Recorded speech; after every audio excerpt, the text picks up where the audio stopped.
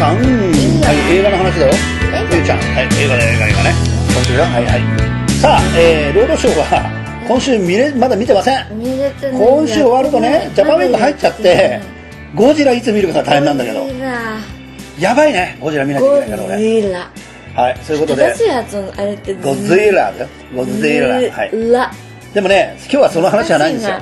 ね、もう見てないから DVD の話をしようということで、僕はね、最近見てて名作の DVD で、えーなんとね、この人が女優が引退するってことがね、非常に悲しいなと思ったんで、えーやります。いいですか？いいですアンジェリーナ・ジョリーがね、ついに、あと2作ぐらいで引退です。そうですね。それでもうそこから先はね、監督業に精を出すと。ということで思い出したのが、トゥームレイダーですよ。トゥームレイダートゥンブレイダーね。はい、その話をしたいと思います。えートンボレイダーの方はトゥンブレイダーですね。はい、日本はトゥームレイダーというのちょっと違いますけども、はい。墓荒らしですね、簡単に言うとね。墓を探るやつ。行ってみましょう、ジョリーに。首ったけ。はい。あれチャドちゃん出てんだっけ？あのね、そうそう、あの、チャドちゃんっていうのは 何かって、あれは、えーチャーリーズ・エンジェルのワンに出てくる、うん。ドリュー・バリモアのね、船船持持ってる恋人役、ね。なんか変なボーイフレンドね。それが実はトゥームレイダーのコンピューターオタクで、えっ、と、ヘリコプターを、あのーなんだろうね、要するにあのシミュレーションやってる。人だねうん人ですね。うん。まあ、これは同じ役者ってことだけなんだけど。そうかでね、やっぱりね、僕はね、トゥームレイダーの魅力ってことをね、本当にね、皆さんにね、ぜひ言いたい。あ、耳になんか出来物できてる。出来物できて、これ針でプチってやらなきゃいけないなって感じですがえーはい、トゥームレイダーの一つ魅力僕言わせてもらうとね、アンジェリーナ・ジョリーやっぱりすごすぎる。あれ素敵なんだよね、のあとね、僕ね、最近ね、あればばっかり見てるからね、最近ね、コマ送りで見てんだ。あどういうところ見てるかっていうと、こんなこと見なくていいですよ。あの、アンジェリーナ・ジョリーがスタントマンと変わる瞬間。あそんなところがいや、すんごいスタントするから、へえ、うん。それをね、見てて、バイクのシーンはね、結構アンジェリーナ・ジョリーやってるんだけど、やっぱりアンジェリーナ・ジョリーにそっくりなスタントマンがいてね。すごいよ、やっぱり。うん。スタントマン嫌いなんだけど、やっぱアンジェリーナ・ジョリーのね、やっぱりその役所役者としてのうまさってすごいから、だから許せちゃうなって感じだけどね。さあ、トゥームレイダーどんな作品かってことをちょっと皆さんにお話してね、はい。DVD 借りる方買う方、ぜひこれはお勧めしたいです。1と2があります。はい。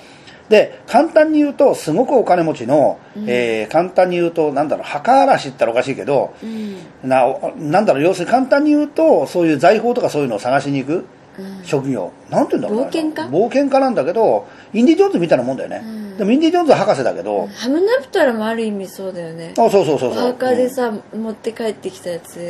そうなんですよ。それで、えー、と実はね、事件に巻き込まれちゃうんだよね。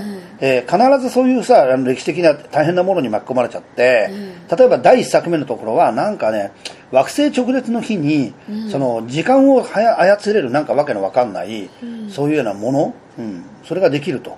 で、それを悪い奴がまあなんとか扱おうとするんだけど、あの、トゥームレイダーのそのアンジェリーナ・ジョリーがそれを阻止する話だね。それで、まあ、あの、面白いところでは、あの、だ最近の007に出てる、あの、ロシア系の顔してるあの男が、やさ男で出てくる。まあ、それはいいとして。それで、2はどういうのかというと、えーとですね、今度はね、なんだろう、あのー、よく有名な話で、あれあるじゃない？なん、なんていうのかな、あのー、あれ忘れちゃったよ。ミミックとか箱な、箱を開けたらその中からいろんなものが出てきて、が出て最後に希望が入ってたっていう。パンドラの箱パンドラの箱。あれが、あの、どっかにあるってことなのよ。それでそれを、おあの、のなんか、どっかの神殿、クレオパトラの神殿じゃなくて、アレキサンダー大王が死んだ月の神殿の中からその秘密を取って、それを最近研究家のさ、すごく悪人がいて、いろんなエボラ出血熱とかいうのを最近作っちゃうとかいてね、そいつが何とかしてさ、地球、あの、世界をコントロールしようとする。それをまた阻止するんだな。うん、でね、やっぱりものすごくロケ地がいっぱいあって、あの世界中回るわけ。上海行って、香港行って、アフリカ行って、どこ行ってもすごいんだ？もう中国全土の旅をして、万里の長城を走って。まあだからそういう意味ではすごく面白い作品だね。うん。あの、ぜひ皆さんね、この作品はね、何度見てもいいという感じがするから見てほしいですね。はい。だからまあね、またね、あの、みゆちゃんに渡しますから。はい今みゆちゃんあれ見てるでしょ？チャーリーズ・エンジェル。チャレンジル見ねてる。よ、はい、チャーリーズ・エンジェルを見てて、えーその後にバトンタッチしたらいいんじゃないかなと思いますね。うん面白いよね、まあでもね、アンジェリーナ・ジョリーの魅力ってのはね、本当にまずね、その作品を見てみたらわかると思う。目力強いしね目力強いですよ実は黒人とのハーフなんだってね。そうクォーターだかハーフだかなんらしいんだよ。交代ぐらいじゃない？色はだってそんなにまあでもあの黒人とハーフだからといってね、黒く出るとは限らないし、あの子は実を言うと、今38歳、シュート君と同い年なんだけど、やっぱり色黒いよ。そうかうな、ん、ものすごいしなやかだね、見ててね。うん。なんか、魚類みたいだね、泳いでると。魚類？さあの、魚みたい、泳ぎが。ああそうかうん、やっぱりあの海サメは殴るやつとかねそうサメ殴った殴ったあれはね2ですね、うん。2か。トゥームレイダーの2で、えー、とその月の神殿の中行った時に地震でね、神殿が崩壊しちゃうと、うん。で悪人がいて逃逃げなきゃいけない時にね。悪人がね自分のねそのウォータースライダーみたいなよくわかんないあの、ウォーターバイクを穴開けてね使えなくしちゃう、うん。でアクアラングもないからってんであのなんとか戻んなきゃいけないんだけど相当距離があると、うん。どうしたかっていうと自分の体を切ってあの血を流すの。サメが来るでしょ。サメの鼻をねつら殴ってそして背びれに乗っかって上昇してなんとか助かるって言うんだけどこれ実話なんだよ。サメって鼻殴ると感覚器官がおかしくなって上に上がってくるっていうの。そうなんだ。そう。だからサメと対峙した時いざとなった時鼻を殴るっていうのも有名な話だ。じゃあなんか逃げずにそうしたらいいんだね。まあねでもあのよく息が続いたなっていうのがあれだろうね、まあさ大体映画はそうだよね、映画の中でねやっぱり僕はね実を言うと呼吸器があんまり強くないもんだから、うん。あの一回たれ試してみたんだけどね。うん。とてもあんなに長い間。いや無理。おあの大島の海女さんじゃないけど、うんうんでも、大抵の映画そうだよね。水潜るシーンって無理だようん。ね、そうだね。でもあの実際にあの記録っていうのは7分とか潜ってた人がいたしすごいのいるんだよ。それでねすごいのはねあの実際過呼吸状態にして体を停止させていかに水中で呼吸しないかってギネス記録は十何分ってのがいるんですそんなことで普通はね脳にそれだけ酸素がいかなかったし脳死しちゃうんだけどエラ呼吸？いや体の中に酸素を溜めといて過呼吸するわけ。過呼吸ってのはどういうことかっていうと、ね、血液の肺から酸素が全部、あのーなんだろう取りきれないような状態で酸素を入れちゃうの。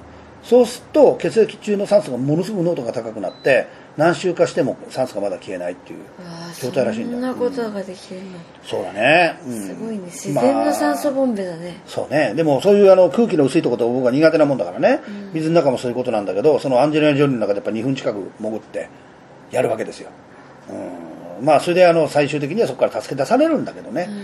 まあでもね、派手な映画ですから、これ見てたらもう最高じゃないかなって感じます。うん、でアンジェリーナ・ジョリーはね、あの最新作では、えーマレフィセントでね、魔女役をやりますね。ああそううだね、ん、だけどその当時若い頃のアンジェリーナ・ジョリーってのはもちろん可愛らしくて美人ですごくそういう役だったんだけど、今回は魔女役ですよ。すごいね。その魔女役の凄さって言ったら本当すごい、うん、だから本当にね彼彼女がこの最後の勇姿を見れるのはあと23回しかないんだよね。そうか、残念だな。で彼女の曰くは本当にねあのそろそろね子供たちと一緒にいてねそれでジーパン姿でノーメイクで監督ができるような生活になりたいんだと。へで旦那のブラピももう引退だ50で引退だとか言ってまだ何本か出るみたいだけど、うん、あの二人がね銀幕から消えてしまう銀幕っていう方も古いな、うん。っていうのもね残念な感じですよね、それ以外にもねあのなんかそうだなトゥームレイダーの話をしようとしたのにアンジェリーナ・ジョリーの話になっちゃったけど、うん。あとはえーっとソルトとかね。あエヴリン・ソルト。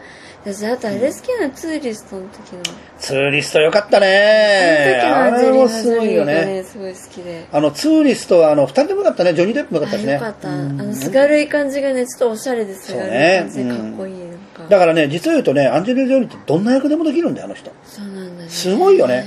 だってツーリストの時はさ弱い役だったね。そうだよね、うん、でトゥームレイダーは強い役だし、当然のことだけどマレフィセントは多分怖い役だろうし、怖い役うだね、ん、それでなんだっけもう一つソルト、うん。ソルトは強いでしょあれも、うん。だからそれを考えちゃうとすごい役者ってあの主役でもいろんな顔が出せるんだなと思いますね、うん、もちろん脇役は脇役で、あのーすごいのがいっぱいいるからね、うん。だからハリウッドのその層の厚さっていうのがすごいなと思いました。私あの人でやっぱさん？誰？なんだっけゲイリー・オールドマンだっけど、うん。この間のロボコップの時博士やってた人。あれはすごすぎるゲイリーあれ誰か分かんなかったっていうかさ。あれがシリウス・ブラックだって言ったらどうしようもないね。なんか化けちゃって誰か分かんない、ねえ一瞬もほんとすごいだっですよ。て指の先までさその人になりきっちゃって。てそうフィフスエレメントのね悪役だからね、うんそう見えないよ。同じ人に見えない、でもドク博士もすごいよね。